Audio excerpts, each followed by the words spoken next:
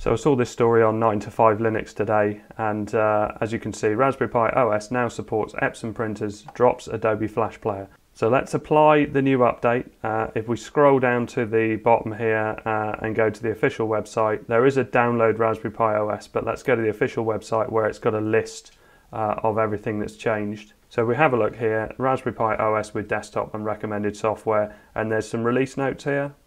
So hit the release notes and you'll see this top bit. So Chromium is uh, now a newer version.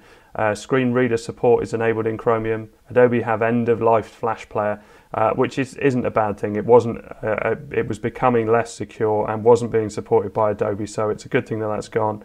Unfortunately, Scratch 2 required Flash, so that's been taken off, which some people will be disappointed about. Uh, there's some bug fixes for audio here. I know a lot of people have been having all sorts of problems with audio, so hopefully that will make that better and more compatible. There's also a bug fix here for Chromium video playback, uh, locking up on a small number of devices. I haven't really had that, um, but uh, but we'll give that a test in a minute.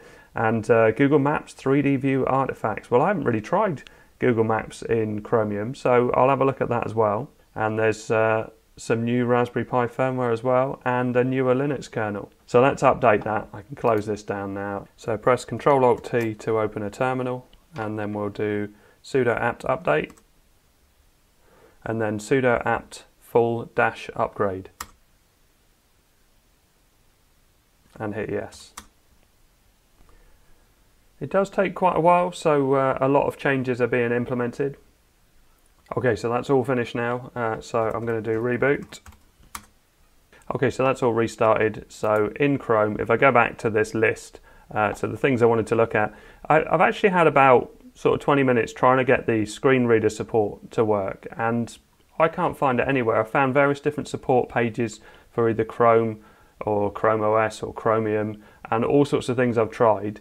None of them seem to be that intuitive, which is weird because on my iPad or my iPhone, I can literally just select text and select read and it works. And apparently, lots of other browsers have got it. So Firefox apparently has got it built in. I've not tried it on that, but uh, yeah, whether because it's so early. I also checked I had the latest version of Chromium, so 86.0 ending in 197. So if I do about ending in 197, yeah, so I have the latest build, but. Uh, I just kind of expected I would be able to select some text and then from a menu or to right click that text and have a screen reader, but it isn't as simple as that. Uh, and you think as an accessibility feature, maybe it would be just, just there as standard. Uh, this is not a thing against Raspberry Pi OS, um, but uh, but it, yeah, you you think that it would be a nice simple feature.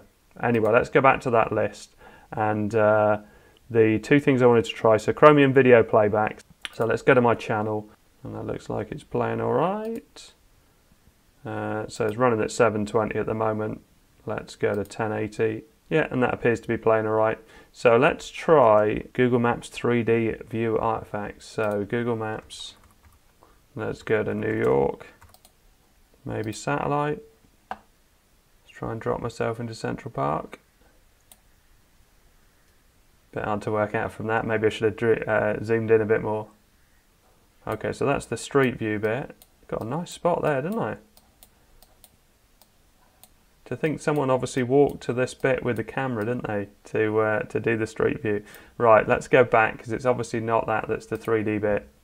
Uh, must be this bit here. So uh, enable globe view, zoom out and see the world in 3D.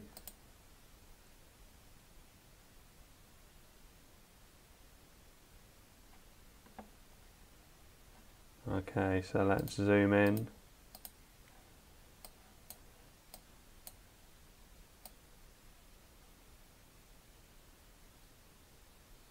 Okay, so it's working on the 3D, but it's uh, it's very very slow, um, and uh, and it really struggles with it in quite low res. So I don't know how usable people will find that because uh, it can look amazing on on some devices, but I've been waiting for this to load up and it doesn't seem to be wanting to load up. It's not glitching to be fair, um, but uh, but yeah, there are better ways to look. Oh, that's the. I watched a video on that the other day. This this very thin one in the middle. Uh, yeah, this one here. This skyscraper is one. I think it's the thinnest skyscraper or something. And uh, yeah, it looked it looked really. There was uh, someone was showing one of the properties inside it, and they've they've got this view, which is incredible. So one thing definitely worth doing if you're trying to improve the performance of the Pi 4 or 400 without uh, overclocking is to just lower the resolution of the screen. So in this case, if we go to Preferences, Screen Configuration, uh, Configure, Screens, and then just drop it. I usually drop it down to 720. It's still HD, still looks alright, and just hit the tick. So you can see that it looks a bit softer on screen, all the icons are bigger, but it does mean that you get that performance boost, whether it's for games or in this case uh, Google Maps, it's going to improve performance. Okay, so it does work better. Uh, it is definitely moving around better, but you still don't get the sharpness that uh, that you would want to be able to see detail. But it does give you a good idea of an area, and as you can see, the performance is definitely better at 720 rather than 1080. So I haven't got an Epson printer to try. Uh, I've only got a wired one, which is about 10 years old. But my HP printer has been supported for a while, and uh, it just shows up. So if I go to print settings, uh, there's nothing else you have to do. It just detects it on the network, and then when you want to print out in a document, I use it quite often with Twister OS, which uses the same as this, uh, and it does work very, very well. Okay, so I hope all this helps. Uh, I'm glad to see that Raspberry Pi OS is getting regular updates and lots of bug fixes and things like that.